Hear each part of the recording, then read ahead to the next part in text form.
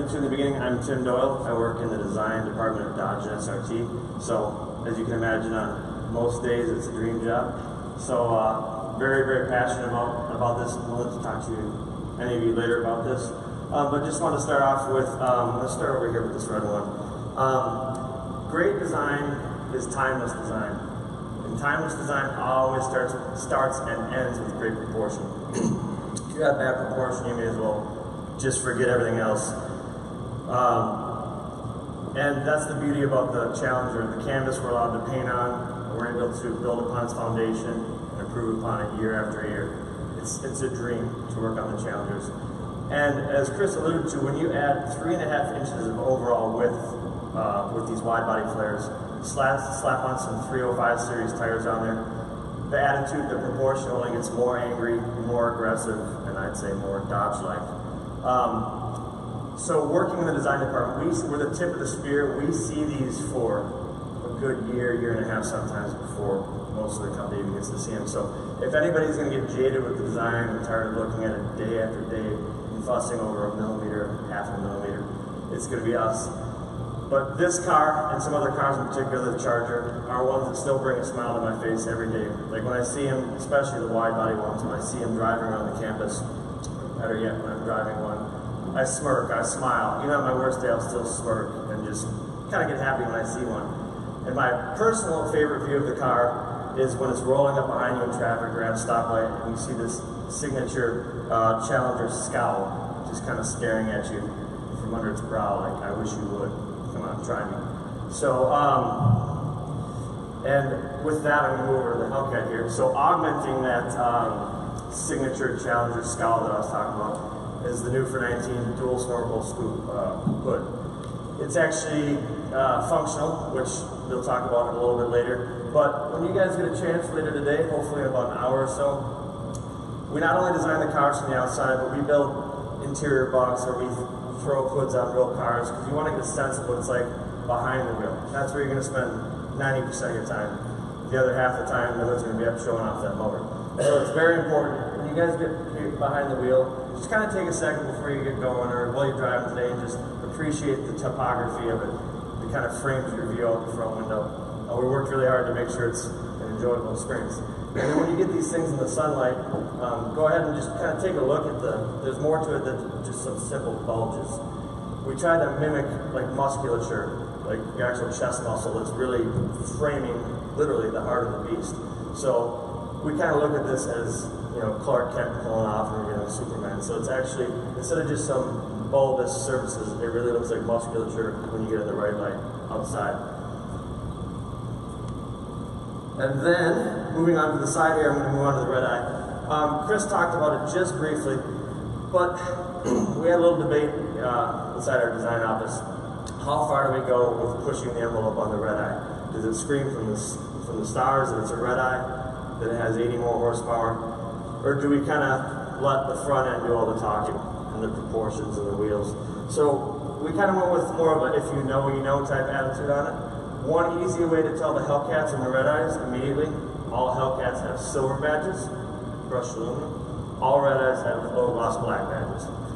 And inside that low gloss, or excuse me, inside that um, is a red actual jewel. When you get a chance, it might be a good photo op. Come and take a look at it. There's an actual jewel. It's not a ruby. Don't steal it. But uh, there's an actual red jewel inside there. Um, uh, and there's also the supercharger badge under the hood. So when you pop it, there's a really nice supercharger badge on top of that that also has a red eye. Uh, moving on to the interior, there's red eye specific splash screens, key fob, IP badge, a 220 mile an hour speedometer, um, and a flat bottom steering wheel. Out back, I'm not sure if you guys can see it or not, You can see a side view of that octane red one right there, or just remember and take a look at it later.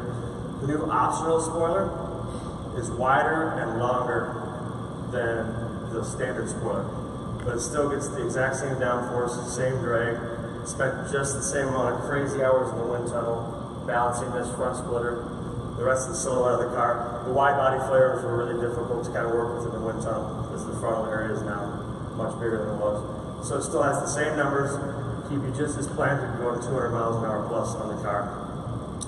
And then this color right here, I like silver, but silver tends to kind of um, not grab your eye like some of these crazy colors that we're very proud of here. But this new color is called triple nickel. It replaces billet silver. And when you guys get a chance after we're all done here, just if you can just come up and take a look at, we call it the flop of the color, just right here. How it goes from gray to yellow or silver, get some blues down in the shadow. The color is just immaculate when you see it out in the sun. So it's a really nice color that we're excited about. Speaking of colors, the 1320, which I've seen everybody glancing at this morning, um, that color is called Black Eye. It's a color that we are testing the waters on. Every year we try and keep good contact with our Mopar faithful, the fans.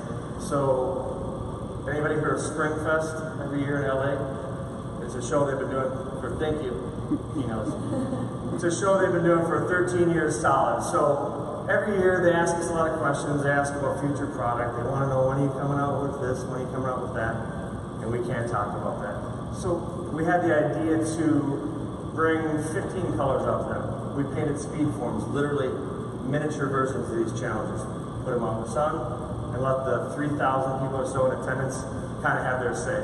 So Black Eye was the one that won far and away. I think it got 30% more votes, votes than the other ones. So then subsequently, we had an internal vote amongst all the SE employees, and again, this one won by crazy margin. So if you guys have any feedback, when you- when you uh, talk to us later, let us know. But it's just right now we're testing the waters, gauging interest, and so far the interest has been pretty good.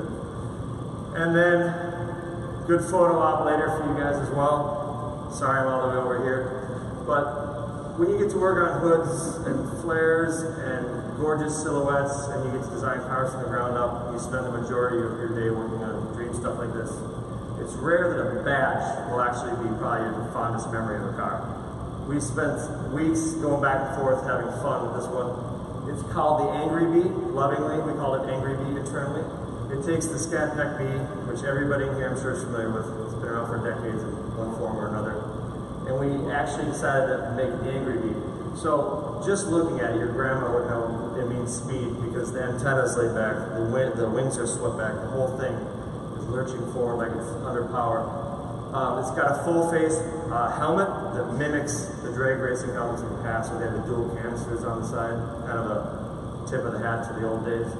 And even the tires have wrinkles in them. So just stuff like that was fun as heck to work on forever. So with that, I'm going to pass it on to Mr. Wilder. He's going to talk about